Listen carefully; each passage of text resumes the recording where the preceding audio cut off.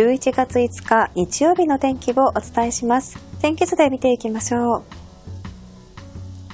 南東からの湿った空気の影響で西日本や東海エリアではにわか雨が心配です。詳しく見ていきましょう。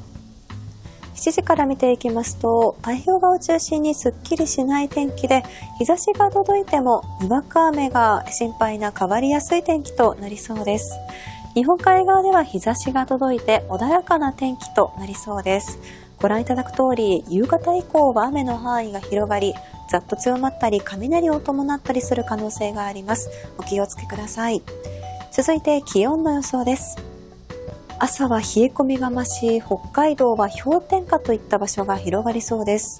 その後日中は気温が上がるものの、極端な気温の上昇は見込めません。一方、え九州など西日本のエリアでは気温が上がり、予想最高気温25度以上夏日といった場所が増えていきそうです。朝晩と日中との気温の変化が大きくなります。体調を崩さないようお気をつけください。詳しい内容はアプリウェザーニュースからご覧いただけます。